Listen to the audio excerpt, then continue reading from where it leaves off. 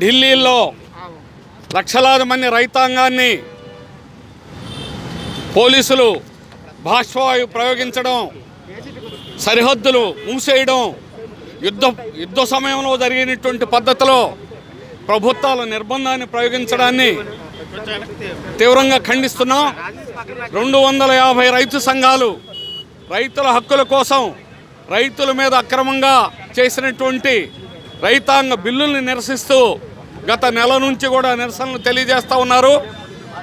మాటకి రైతే రాజు అన్నదాత రైతు ఇలాంటి మాటలు చెప్పడం ఈరోజు మొత్తం వ్యవసాయాన్ని కార్పొరేట్లు కట్టబెట్టేటువంటి విధంగా రిలయన్స్ అమెరికన్ కంపెనీ మన్సంటో ఇలాంటి వారు ఇష్టం వచ్చినట్టుగా ధాన్యాన్ని ప్రైవేటు వారు సేకరించడం కానీ భూములు కూడా కార్పొరేట్లకు ఒప్పందాలు చేయడం కానీ వాటి మీద కనీసం కోర్టులు కూడా వెళ్ళేదానికి లేకుండా చట్టాలు చేయడం రాజ్యసభలో మెజారిటీ లేకపోయినా మూజువాణి పేరుతో ఆమోదించడం ప్రజాస్వామ్యాన్ని ఖూనీ చేసి ఈ చట్టాలను దుర్మార్గంగా చేసింది బీజేపీ ప్రభుత్వం.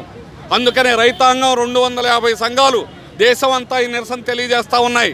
ఢిల్లీ ఢిల్లీలో మాతో చర్చించండి అని మొరపెట్టుకున్నా మాట్లాడలేదు. నిన్న నిన్న చివరికి నిన్న సాయంత్రం రాజ్నాథ్ సింగ్ మీతో చర్చలు చేస్తామని చెప్పేసి అంగీకరించాల్సిన పరిస్థితి అనేటువంటిది వచ్చింది. చర్చించడమే కాదు ఈరోజు లక్షలాది మంది రైతుల ఆత్మహత్యకు ప్రభుత్వ విధానాలే కారణం. ఈరోజు ప్రజానీకానికి నిత్యావసర సరుకుల ధరలు పెరగడానికి ప్రభుత్వం విధానం ఈరోజు కార్పొరేట్లు తమ ఇష్టం వచ్చినట్టుగా నిల్వ ఉంచి ధాన్యాన్ని ఇష్టం వచ్చినట్టుగా ధరలు పెంచుకొని ప్రపంచంలో ఎక్కడ ధరలు అధికంగా ఉంటే అక్కడ విదేశాలకు ఎగుమతి చేసుకోవడానికి ఈ బిల్లులు అవకాశం కల్పించాయి. దీనివల్ల రాబోయే కాలంలో రైతాంగం మరింత ఇబ్బందులకు గురవుతారు. ఇప్పటికే ప్రతి అరగంటకి భారతదేశంలో ఒక రైతు ఆత్మహత్య చేసుకుంటున్నాడు. అప్పుల పాలవుతున్నారు. బ్యాంకుల నుంచి రుణాలు ఇవ్వడం లేదు. పేద రైతాంగానికి మరింత దరిద్రంలో నెట్టేటువంటి విధంగా మన కంపెనీలు ప్రైవేట్ కంపెనీలు ఎరువుల ధరలు విత్తనాల ధరలు విపరీతంగా పెంచడం అనేటువంటి జరిగింది. ఇదివరకు ఇచ్చినటువంటి ఎరువులకు ఇచ్చేటువంటి సబ్సిడీని కేంద్ర ప్రభుత్వం నలభై శాతం తగ్గించింది. ఆ విధంగా రైతాంగం మీద విపరీతమైన భారాలు వేసేదానికి కేంద్ర ప్రభుత్వ విధానాలు తోడ్పడుతున్నాయి.